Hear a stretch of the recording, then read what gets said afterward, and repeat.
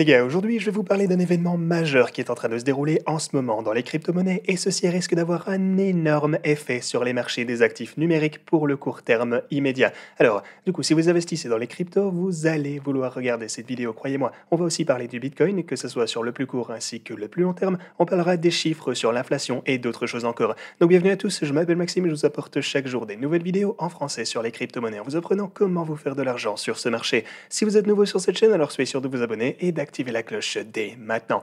Et ceci étant dit, commençons par jeter un œil au Bitcoin ici sur l'intervalle de 4 heures. Et en fait, hier, on peut voir que les cryptos ont encaissé une petite chute, une fois encore. Vous voyez que la ligne rouge qu'on a ici a tenté de supporter le prix du Bitcoin, mais ensuite, les données du CPI sont enfin sorties et on est passé tout droit à travers le support. Maintenant, le Bitcoin n'a en fait pas été impacté outre mesure, ça va encore, parce que si vous regardez plutôt les marchés traditionnels lorsque les données ont été publiées, eh bien de ce côté, ils ont vraiment pris une correction plus sévère dans les dents. Et regardez ça en plus, sur les marchés traditionnels, on est en train de s'approcher de ce niveau de clé totalement clé juste ici. Il nous a supporté une fois à ce point, il nous a supporté deux et trois fois juste là. Donc maintenant, est-ce qu'il va une quatrième fois encore nous empêcher de chuter? Eh bien, c'est ce qu'on veut voir. Parce que si ceci ne tenait pas le coup, alors vous pouvez vous attendre à avoir davantage de baisse pour les marchés traditionnels et pour le Bitcoin évidemment par conséquent. Maintenant, bah, bien sûr, au long terme, le Bitcoin finira toujours par s'en sortir, c'est ce que je pense. Et en fait, au long terme, si on devait entrer dans une récession ou même un bear market de plusieurs années, alors je pense que le Bitcoin va tôt ou tard commencer à se décorréler du reste. C'est ce que je vous parlais dans la vidéo d'hier, ou en tout cas j'espère que ce sera le cas. Selon moi, c'est une possibilité, donc n'hésitez pas à aller voir la vidéo d'hier si vous voulez davantage d'informations. Mais que maintenant, bien sûr, les marchés, le Bitcoin, le S&P 500, etc. sont tous assez fortement corrélés, on le sait bien. Ce qui m'amène donc à ce fameux biseau juste ici. Parce que ce que vous pouvez voir, c'est qu'on est en train de s'approcher du fond de cette formation ici, et euh, bah ouais, on ne se trouve qu'à, allez, ça fait quoi ça, genre qu'à quelques centaines de dollars de toucher support. Donc si on continue à chuter, alors on va finir par se faire supporter le plus probablement juste là. Et bien sûr, en général, le fait de se trouver au sein de cette boîte orange ici représente un énorme support pour le Bitcoin également. Et ce, même si, eh ben, en gros, on s'est fait supporter par ce truc pendant, là, on dirait que ça fait une éternité maintenant. Néanmoins, je pense que ceci pourrait toujours nous aider et qu'on pourrait continuer à trouver du support euh, dans ces environs.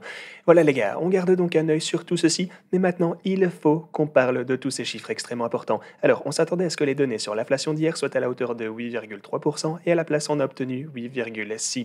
L'inflation a donc été annoncée comme étant plus élevée que ce à quoi on pouvait s'y attendre, et c'est bien sûr la raison principale pour laquelle les marchés ont chuté hier, car maintenant, eh bien, il va falloir tenter de déterminer ce que la Fed va mettre en place pour réagir. Est-ce qu'ils vont être encore plus agressifs concernant les taux d'intérêt? Est-ce qu'ils vont être plus agressifs pour finalement tenter de contrôler cette fameuse inflation? Eh bien, on va voir ça très prochainement. Mais dans l'ensemble, le truc, c'est que je pense toujours qu'on se trouve dans les environs d'un bottom pour le Bitcoin, et si on ne l'a pas déjà trouvé à 25 000, alors je pense qu'on finira par le faire dans les alentours de là où on se trouve actuellement. Genre, ok, on pourrait chuter encore un peu plus, ça c'est vrai, on en parlait également dans les vidéos précédentes, et en fait, je m'attends même à ce qu'on descende encore quelque peu, ce serait normal selon moi, mais quand je vous parle des environs, eh bien, je vous dis que ça risquerait de se trouver, disons, entre là où on est pour le moment et le précédent creux qu'on est venu former à 25 000 dollars.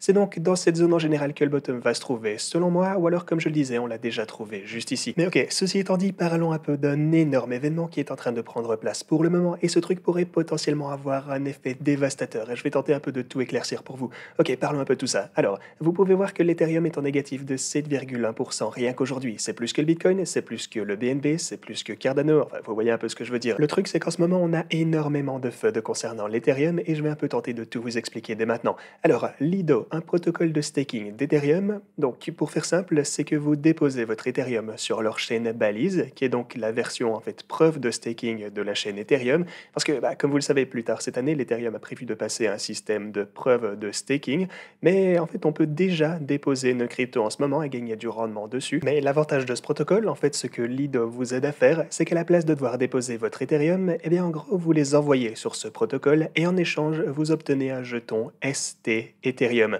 Donc en gros, pour faire simple, pour chaque Ethereum que vous allez staker sur ce fameux protocole Lido, le truc que vous pouvez voir juste ici, ils ont un site internet, eh bien vous obtenez un équivalent de votre Ethereum qui est staké et ça vous pouvez ensuite l'utiliser pour la DeFi ou n'importe quoi en fait, votre Ethereum est toujours liquide, vous pouvez l'utiliser pour plusieurs différentes choses. Voilà donc la première chose dont on doit se souvenir, chaque Ethereum Lido ou ST Ethereum est en fait garanti par un vrai Ethereum sur la chaîne Balise. Le seul truc en fait, c'est qu'on ne sait pas vraiment lorsque l'Ethereum compte finalement transitionner vers son système de preuve de staking avec Ethereum 2.0, on sait juste que ça va être quelque part un peu plus tard cette année. Maintenant, est-ce qu'on aura encore des retards? On n'en sait rien. Mais une fois que ce sera mis en ligne, alors vous allez être en mesure de réclamer l'Ethereum que vous avez staké précédemment pour le recevoir sur la nouvelle chaîne Ethereum 2.0. Ok, j'espère que vous suivez jusque maintenant.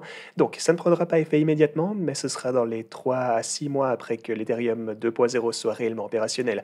Mais comprenez simplement, pour faire très simple, que pour chaque ST Ethereum, STETH, vous serez en mesure de récupérer un vrai Ethereum une fois que le réseau preuve de staking sera fonctionnel. Donc, le gros résumé, c'est que un STETH est toujours soutenu par un vrai Ethereum. Ok, mais alors quel est le problème ici? Eh bien, vous avez en fait ces différents pools qui vous offrent la possibilité de trader de l'Ethereum contre du STETH. Maintenant, ceux-ci sont bien sûr supposés être du 1 pour 1, étant donné qu'un Ethereum devrait toujours être un ST Ethereum, vous le savez maintenant, mais récemment, eh bien, ça n'a plus réellement été le cas. Le truc, c'est que le ancrage est un peu en train de partir en sucette, comme vous pouvez le voir juste ici, parce qu'en ce moment, pour un STETH, eh bien, vous ne pouvez plus recevoir que 0,95 vrai Ethereum, et ouais, à un moment, c'est même descendu jusqu'à 0,9 Ethereum plus tôt aujourd'hui.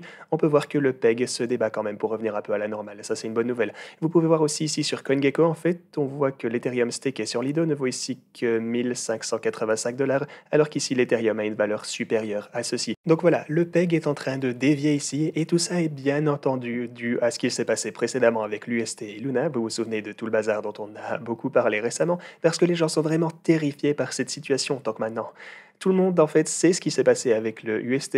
On est entré dans une spirale infernale. Luna a aussi chuté, etc. Enfin, on s'en souvient. Mais un truc dont on doit se souvenir également, c'est que le UST n'était pas sur garantie. Il n'était pas soutenu entièrement par de vraies réserves. C'est la grosse différence. Alors qu'ici, le STETH est en fait garanti par du vrai Ethereum. C'est juste qu'on ne peut pas encore le retirer en ce moment de la chaîne balise. Normalement, cet ancrage est donc de 1 pour 1. Ça devrait être maintenu par les teneurs de marché. Mais récemment, ce qu'on a pu voir, en fait, c'est que les teneurs de marché ont énormément retiré du ST Ethereum, des pools sur Curve, etc., les autres pools également. Et c'est pourquoi vous pouvez voir que le pool en ce moment est composé de 78% de ST Ethereum. Il ne reste que 21% d'Ethereum réel juste ici. Donc ce pool sur Curve consiste maintenant principalement en du ST ETH. Et le problème, c'est qu'alors que de plus en plus de personnes vont prendre peur à cause de tout ça, eh bien elles vont tenter de retrader leur ST ETH pour récupérer leur Ethereum. Et voilà pourquoi on voit ce déséquilibre ici et pourquoi le PEG n'est plus vraiment du 1 pour 1. Ok les gars, faites bien attention, je vais continuer à vous expliquer tout ça du mieux que je peux. Ce que vous pouvez voir ici, c'est qu'hier, ou en fait il y a deux jours, eh bien Alameda Research, ou FTX en fait, est sorti d'une position de 50 000 ST Ethereum en seulement quelques heures de ça, et ils ont encouru énormément de slippage ce faisant. En gros, ils voulaient vraiment sortir de leur position ST Ethereum, ils ont tout swappé pour revenir à de l'Ethereum en perdant par le passage pas mal d'argent. Maintenant, ils ne sont pas les seuls à avoir fait cela, on a pas mal de grands noms qui ont aussi fait la même chose. Du coup, tous les teneurs de marché, tous les fonds d'investissement, toutes les VC, etc., eh bien ils sont en train de se retirer du ST ETH, ils ont tous reconverti en Ethereum normal. Et tout ceci m'amène donc à Celsius Network, parce que Celsius a en fait énormément de ST Ethereum sur Curve. Alors déjà, pour ceux qui ne les connaissent pas, en gros, Celsius Network, c'est une compagnie où vous pouvez déposer vos cryptos et vous gagnez simplement un rendement intéressant sur celle-ci. Vous pouvez déposer vos stablecoins, vous pouvez déposer bah, de l'Ethereum, du Bitcoin, peu importe, ils ont plusieurs cryptos différentes. Mais donc voilà, ils ont une énorme position en ST ETH ici. En fait, si on descend, vous pouvez même voir qu'ils possèdent 450 000 ST ETH, ce qui vaut environ à ce point 1,6 milliard de dollars. Et en raison de tout ça, ils sont vraiment en train de se faire bombarder de tous les côtés actuellement. Si vous prenez par exemple leur propre crypto, elle vient de chuter de 50% durant les quelques derniers jours seulement, et elle est en négatif de 95% à partir de son all-time high. Et ce qui n'aide pas avec ça, c'est qu'on a vraiment pas mal de personnes qui détestent Celsius en fait. Elles pensent qu'il s'agit d'une pyramide de Ponzi, elles détestent le fondateur de Celsius, et, euh, et bah, c'est certain que Celsius n'est pas une entreprise parfaite, ils ont fait pas mal d'erreurs par le passé, ils ont aussi pas mal perdu d'argent lors de hacks, etc. bon voilà, quoi qu'il en soit, ils ont tout de même ces 450 000 Ethereum stakés pour le moment. Et donc, que se passe-t-il s'ils comptent jamais sortir de cette position de 450 000 ST ETH Eh bien, simplement, ils ne peuvent pas du tout le faire. Parce que regardez ça, il ne reste que 144 000 Ethereum sur Curve ici. En gros, ils ne pourraient échanger que ces 144 000 Ethereum qui sont stakés pour des 144 000 vrais Ethereum, ce qui les laisserait tout de même avec une énorme portion de ST Ethereum qu'ils ne peuvent pas du tout reswapper et récupérer. Du coup, qu'est-ce qu'ils peuvent faire à la place? Eh bien, ils peuvent utiliser leur ST Ethereum pour emprunter des stablecoins. Mais pourquoi est-ce qu'ils feraient ça? Eh bien, simplement parce qu'on assiste à une course à la banque sur Celsius pour le moment. En fait, on a recensé près de 50 000 Ethereum par semaine qui sont retirés de la part des utilisateurs sur Celsius. Tout le monde prend peur en ce moment. Mais du coup, le souci, c'est qu'ils n'ont pas les fonds nécessaires pour payer toutes les personnes qui comptent retirer leur crypto de la plateforme. Et alors, la seule solution qu'il leur reste, c'est d'emprunter de l'argent contre leur ST ETH. Mais alors que l'ST Ethereum en fait continue de perdre de la valeur, eh bien, il se pourrait qu'ils commencent à se faire liquider sur cette position ça ce serait dramatique. Maintenant, je voudrais pas être cette personne qui répand du FUD pour rien ici, je vous dis juste de vous montrer prudent en ce moment. Je pense que le STETH va finir par s'en sortir, parce qu'encore une fois, cette fois-ci, il est entièrement collatéralisé par de l'Ethereum. Du coup, ce n'est vraiment qu'une question de temps avant qu'on puisse à nouveau revenir à un Ethereum pour chaque STETH, donc je pense vraiment que ça va finir par se rétablir. Peut-être par contre que ça risque encore de dévier pendant un moment, ça je dis pas le contraire, mais tôt ou tard, je pense que ça va finir par revenir à la normale. étant donné que vous pourrez de toute façon récupérer un Ethereum lors du 2.0, eh bien on aura toujours des gens qui vont spéculer et prendre position dans le STETH avec une réduction de 5, 10%, etc. Donc je pense que ça va aider ça à se rétablir. Mais en ce qui concerne Celsius ici, étant donné qu'ils ont l'air de commencer à manquer de fonds liquides, eh bien là c'est vrai qu'ils commencent à se retrouver dans une position assez compliquée pour le moment. Il s'agit de l'un des derniers grands noms qui n'est pas encore sorti de ce pool sur Curve. Euh, non, attendez, pardon, en fait ils ne sont pas dans ce pool, ils sont plutôt sur AV et là ils ont emprunté des stablecoins contre leur STETH. Mais encore une fois, s'ils ont besoin de plus d'argent, qu'est-ce qu'ils vont devoir faire? Ils ont déjà emprunté de l'argent contre leur ST Donc si ça continue à chuter, alors ils vont devoir résoudre cette situation d'une manière ou d'une autre. Comme ils le disent ici, il n'y a en fait que deux solutions à ceci. Vous pouvez soit vendre du STETH pour de l'Ethereum et des stablecoins afin de gagner de la liquidité pour payer toutes les personnes qui vont retirer leurs fonds de votre plateforme, ou alors vous pouvez utiliser ces STETH et emprunter de l'argent pour rembourser les utilisateurs. Maintenant, comme je le disais, la première option serait la meilleure, mais il ne reste plus assez d'Ethereum sur Curve pour échanger ces 450 000 STETH. En fait, il ne restait que... Bah ouais, ici, au moment où ça a été posté, il ne restait que 242 000 Ethereum, et en ce moment, c'est encore moins, ça a presque diminué de moitié. Vous voyez qu'on n'a plus que 144 000 Ethereum. Voilà donc une option qui n'est plus envisageable. Et pour la deuxième option, eh bien, c'est encore une fois d'emprunter de l'argent contre du STETH. Ici, on voit qu'ils ont déjà une dette de 1 milliard. Et bah ouais, en gros, ils ont 2,5 milliards en STETH qui est utilisé en tant que collatéral, comme on peut le voir juste ici. Donc il y a bel et bien une possibilité, en se basant sur toutes les données ici, que Celsius va finir par se faire liquider sur cette position en STETH. Encore une fois, je ne veux pas du tout vous faire paniquer ni répandre du FUD, mais c'est tout de même possible que ça arrive, donc vous devriez tout de même évaluer la situation si vous avez des fonds sur Celsius. Mais alors, qu'est-ce que ça a à voir avec les marchés des cryptos en général? Eh bien, si Celsius finit par bel et bien se faire liquider ici et qu'ils ne sont pas en mesure de payer toutes les personnes qui ont déposé des fonds sur le protocole Celsius, alors ça risque d'avoir un énorme effet sur les marchés des cryptos dans leur ensemble, et donc on n'a plus qu'à espérer que cette situation va finir par se résoudre d'elle-même. Encore une fois, je ne veux vraiment pas répandre de fausses informations ni de la panique, mais si vous avez de l'argent sur Celsius, eh bien montrez-vous très prudent avec tout ça et gardez un œil sur la situation, les gars. Gardez un œil attentif sur le PEG du Lido ici, et gardez un œil sur les fonds que Celsius utilise en tant que collatéral pour leur prêt juste ici.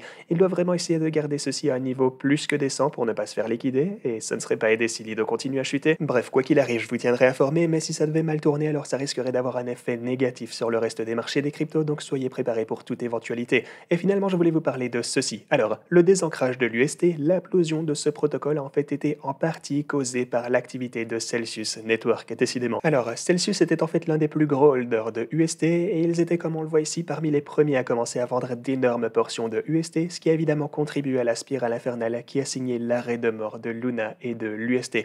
Maintenant, voilà le truc à retenir. Il est vrai que le protocole avait déjà un défaut de base, ok, mais il est tout de même indéniable que Celsius a vraiment ajouté de l'huile sur le feu. Et euh, bah ouais, en gros, comme on le voit ici, ils étaient parmi les premiers à retirer à peu près 420 millions de UST du protocole encore, et ils ont immédiatement vendu ceci pour des stablecoins plus liquides, ce qui évidemment a donc contribué à accélérer cet événement de depegging et le cercle vicieux dans lequel Luna est entré. Mais bon, on connaît toute l'histoire maintenant. Et c'est pourquoi donc certaines personnes pensent même que eh bien, les gens qui sont en train d'essayer à liquider la position de Celsius ici, ou peu importe ce qui se passe avec tous les articles qui paraissent et qui lui font vraiment une mauvaise image, tout ce FUD, etc., eh bien c'est peut-être en raison causée par des personnes importantes qui se sont fait liquider ici sur UST et Luna, et ils veulent vraiment faire payer Celsius pour tout ce qui se passe à ce point, étant donné que, bah oui, on le répète, Celsius a un peu signé le début de la fin pour certaines positions en UST. Ok les gars, j'espère que vous avez tous bien suivi, c'était une énorme vidéo, c'est tout ce que j'avais pour vous aujourd'hui, et quant à moi, je vous dis à la prochaine.